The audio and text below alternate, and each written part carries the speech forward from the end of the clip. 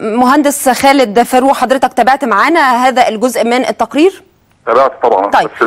بس أنا أنا سايق في الطريق الحقيقة فمش شايف أنا مجرد سامع بس آه مجرد طيب آه، خلينا أوصف لحضرتك الصورة ولو إن ده ربما يكون شوية ممل للمشاهدين ولكن هلخصه يعني ال- المزلقان عبارة عن آه، يعني آه، قطع حديدية بتتقفل مع مرور القطر لتمنع المواطنين والعربيات النقل الخاص والجماعي من المرور. أوضة عامل المزلقان أوضة بسيطة جدا ضيقة جدا. التليفون اللي بيعتمد على تلقي المعلومات منه حاجة برضو بسيطة بتاع 50 سنة فاتت. هل تطوير هذه المنظومة المزلقان ده تحديدا اللي أهالي أسيوط بيتكلموا إنه من بعد سنة من الكارثة لسه على حاله لسه بظروفه بنفس الإهمال وبنفس آه، آه، الحال اللي عليه هل ده يتكلف مليون ونص أو 2 مليون؟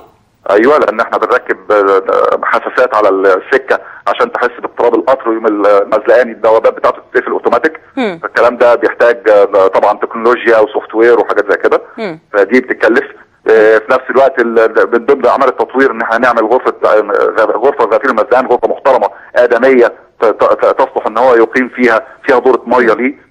تمام. مقبولة تمام. وفي نفس الوقت عشان نحط فيها الأجهزة بتاعه تشغيل المزلقان طيب لو إحنا النهارده ما عندناش المليون ونص ان إحنا نعمل كل التطورات الرهيبة الرائعة دي اللي ممكن تغير شكل الحياة وتسهل على الناس وتحمي آه الأرواح مفيش أي حتى يعني شوية تطويرات نصها طيب ربعها ثمنها يعني تحسين الأحوال ما زالت الأوضاع على ما هي عليه وبالتالي كان عندنا الحادثة بتاعت امبارح آه آه يعني الح- 27 الح- روح أنا بس أنا بس عايز اطلع الحادثه بتاعت امبارح من من الموضوع لأن الحادثه بتاعت امبارح ما هياش مسؤولية السكه الحديد نهائيا.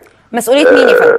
ما- دي مسؤولية المركبة اللي معدية ال- ال- المزدقان. ليه؟ المزدقان المزدقان إحنا بالتجربة جربناها بعد الحادث لقينا الاجراس والأنوار بتاعته منتظمة. لما دخلنا جرار عشان يسحب العربيات عشان تساعد في رفع الجثث ونقل المصابين.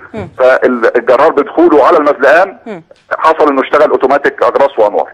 لأن المزلقان ده بيشتغل اجراس وانوار بتشتغل أوتوماتيك. آه طب الأجراس والأنوار دي المفروض إن هي تنبه المار تنبه بالظبط بالظبط طيب كده. آه، آه، المارة لا المرة لم ينتبهوا. الناس وهم بيعدوا العربيات وهي بتع... وهم بيعدوا ما انتبهوش. وكان المفروض إن يكون في سلسلة حديد موجودة لا تمنع موضوع موضوع مرور الناس. موضوع السلسلة ما هي برضو عشان أتكلم فيها دي حاجة إضافية واضافتها السكه الحديد ما هياش موجودة في لوائحها ولا قوانينها؟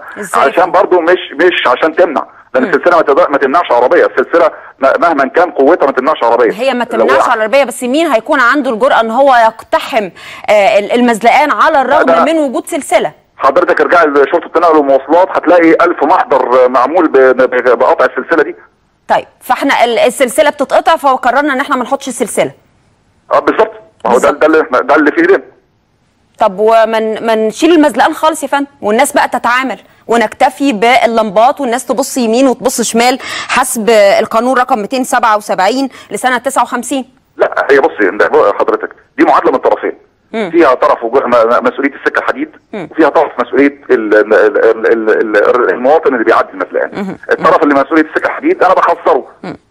ولو ال- إن عندي إمكانية إن أنا أركب بوابات بركبها لكن في مزلقان زي ده ما ينفعش أركب بوابات لأن على طريق سريع.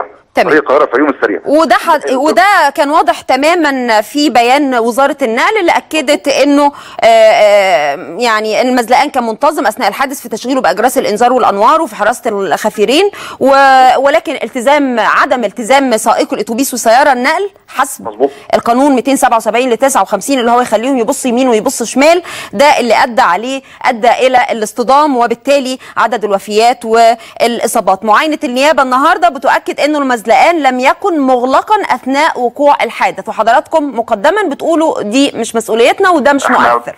إحنا بنقول إن هو مش مغلق أنا ما قلتش إن هو مغلق أنا بقول إن أنا حذرت عليه عشان المركبة تلتزم بقانون المرور وتقف ما تعديش المزلقان طب ما هو حتى في قانون المرور حضرتك يعني حتى العربيات ما بنتكلمش على مزلقانات في إشارة تمام. مرور بس في عسكري مرور.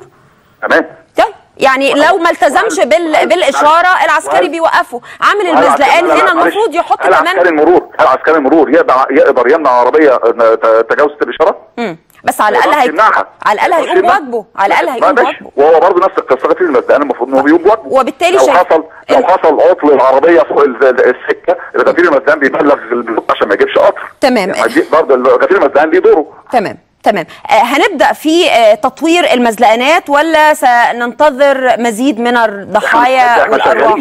إحنا شغالين في تطوير المزدانات إحنا مش مش هنبدأ. آه. إحنا فعلا شغالين فيها. طب يعني المزلقانات أبرز المزلقانات مزلقان العياط اللي هو مزلقان الموت. آه يعني هل تم تطويره؟ مزدان وعيات ما عادش في مزدان دلوقتي إحنا في كوبري خلاص. آه، ولكن المزلقان ما زال موجود. لا خلاص انتهى ما فيش. انتهى تماما. لا. مزلقان المنظرة إبري إبلي اللي نعم. كان سبب في الكارثة بتاعت أسيوط السنة اللي فاتت. بتاع المنظرة شغالين فيه حاليا أعمال مدنية عشان بعد كده نخش فيه على أعمال الحماية. الحقيقة إنه الأهالي بيؤكدوا إنه ما فيش أي جديد ولا في أي لا لا آه لا, لا. تطوير. طيب آه السيد الموقع بقى لها شهرين وشغالة فيه. آه، السيد وزير النقل أمل بسرعة أمر بسرعة إنشاء كوبري علوي على هذا الطريق فوق خط السكة الحديد. هل ده هو اللي حصل ما كانش فيه م- م- متخطط لكوبري فوق هذا المزلقان لأن حركة القطارات على هذا المزلقان ضعيفة. بس حركة المركبات عالية جدا لأنه ده طريق سريع آه، ما بين القاهرة والفيوم. عشان كده م- الوزير أمر النهارده بإن إحنا نزوده في الخطة بتاعتنا. كان عندنا خطة 27 كوبري ده هيبقى 28 طيب ده هيبقى الرقم 28 بشكرك شكرا جزيلا مهندس خالد فاروق نائب رئيس هيئة السكة الحديد للبنية الأساسية.